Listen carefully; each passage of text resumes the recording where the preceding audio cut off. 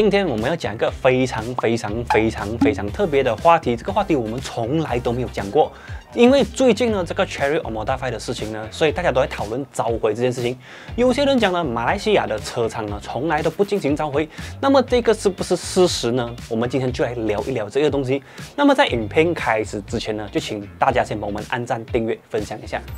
那么我们今天的影片其实也不是为了讲 Cherry 啦，因为我们主要是跟大家解释一下什么是召回，然后它的目的在哪里。不过我会建议啦，各位欧摩大派的车主，如果 Cherry 已经联系你们回去 service 或者回去检查的话，那么请务必要回去。那么现在我们要进入这个真题，什么是 recall？通常 recall 会分成两种类型，一个是预防性的 recall，一个是这个补救性的 recall。我们先来解释一下什么是预防性的 recall。通常厂商发现车子在可能一些特定的情况下，它会发生一些嗯可能危险的话，那么他们就会进行这个预防性的召回，主要就是为了避免这个驾驶者或者消费者遇到问题。那么补救性的召回呢，其实就是当车子已经发生了一些特定的情况，当他们掌握到信息之后，他们就进行这个补救性的召回，意思就是为了把这个杀伤力或者伤害减到最低。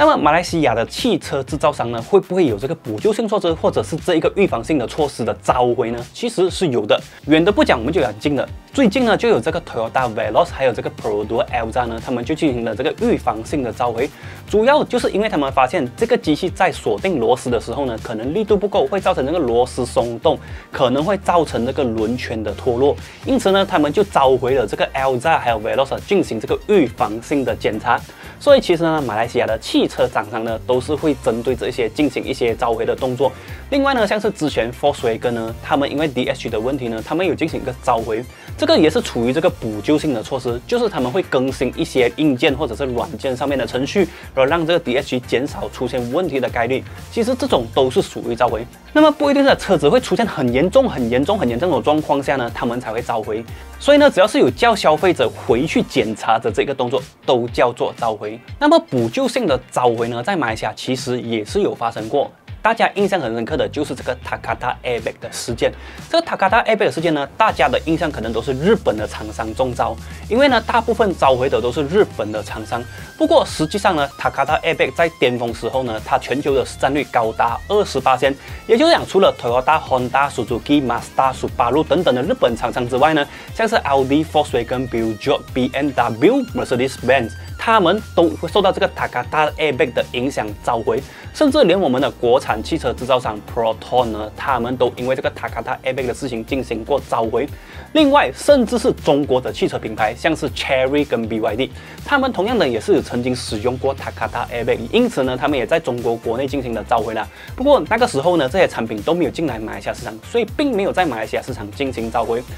而且呢，这个召回动作也非常的迅速，因为之前呢，我家人也是有这个受到 Takata AB 影响的很大车款。那么在原厂进行召回之后呢，只需要很迅速的去跟他们预定时间，那么他们就可以很快的安排时间把你跟原来有问题的组件进行更换。所以这一个动作呢，我觉得还是值得称赞的。那么有一些网友可能会有一些疑问。很多的车款在马来西亚有贩售的，可是在国外进行召回，可是马来西亚没有，那个是什么因素呢？其实有很多因素造成。那么第一点就是这一个组装上面。因为呢，马来西亚大部分的车子呢都是在本地进行组装，而在国外召回的是国外的组装，可能那边发生问题，并不代表马来西亚有发生问题。然后第二点就是供应商的问题，就像是不久前，应该在去年年末的时候呢，在澳洲的 Toyota Corolla Cross 就进行了召回，召回了一千多辆，因为它的电子手刹车会出现问题，可能导致刹车不进。可是马来西亚没有召回，那个是因为马来西亚版本的 Toyota Corolla Cross 并没有电子手刹车，所以就不需要进行召回。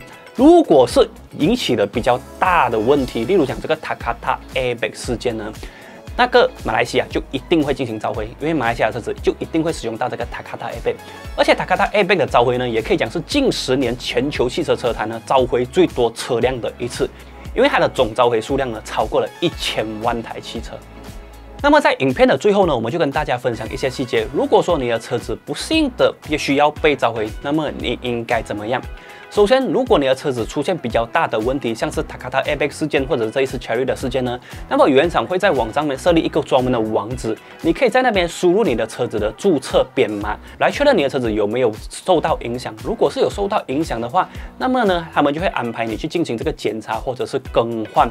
那么如果是讲今天是一个嗯不大会用这个网际网络的朋友呢，你们也可以直接的前往这个展示厅或者是维修中心进行一个询问。通常展示厅跟维修中心呢，他们这个售后服务的处理团队呢，也会去根据这个情况来帮你辨别你的车子是不是受到影响。如果受到影响的话呢，他们也会马上的安排你更换这个受影响的组件。在前面的内容我就讲到了，其实马来西亚很多的汽车品牌真的在发生事情的时候呢，他们是会进行一个召回动作的，因为这个是一个作为企业应该负的责任。但是有时候呢，可能是因为这个品牌的知名度不够，又或者是因为这个召回的事件影响不大，所以在大家的观念里面呢，马来西亚的汽车厂商并不会进行这个召回动作，这个是不对的。因为我们可以去谷歌一下，从二零零零年开始呢，马来西亚的汽车品牌，包括国产车、包括外国车、包括日本车、包括德国车、包括韩国车、包括中国车都好呢，只要有事情发生会影响到安全的，他们都会进行这个召回动作。OK 啦，那么今天就是我们以上影片的内容。这一期的影片只是要告诉大家，如果你的车子真的是在任何一个品牌的召回 list 里面呢，记得一定要去进行这个检查的动作哦，确保你跟你家人的安全。